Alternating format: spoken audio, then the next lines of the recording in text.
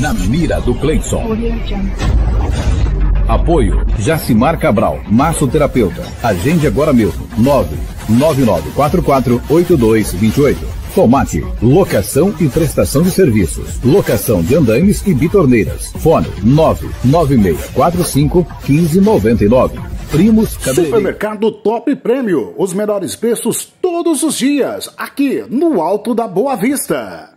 Quer construir gastando pouco? BGN, blocos e artefatos de concreto, em São José dos Quatro Marcos. Nós estamos aqui em frente ao 17º Batalhão da Polícia Militar, que teve uma participação aí especial dentro da prisão de 470 quilos de entorpecente, que foi preso ontem na cidade de Reserva do Cabaçal, na Operação Aero, juntamente com o Gefron. 17º aí né, comandado pelo Coronel Barros, teve essa participação de inteligência que já estava monitorando. E nós vamos trazer agora para você tudo o que aconteceu ontem em Reserva do Cabaçal, um avião que estava aí transportando esses 16 fardos de entorpecente, teve que fazer aí um pouso forçado em umas estradas de reserva do Cabaçal e foi aí abordado aí pela a Gefron, né, Polícia Federal, o Exército Brasileiro e, é claro, também participação do 17º Batalhão da Polícia Militar, comandado pelo Coronel Barros. Veja como foi.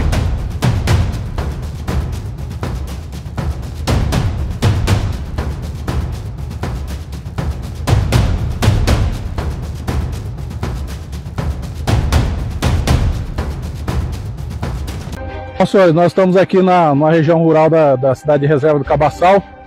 É, mais cedo, no amanhecer do dia, houve a queda de uma aeronave na, nas proximidades aqui.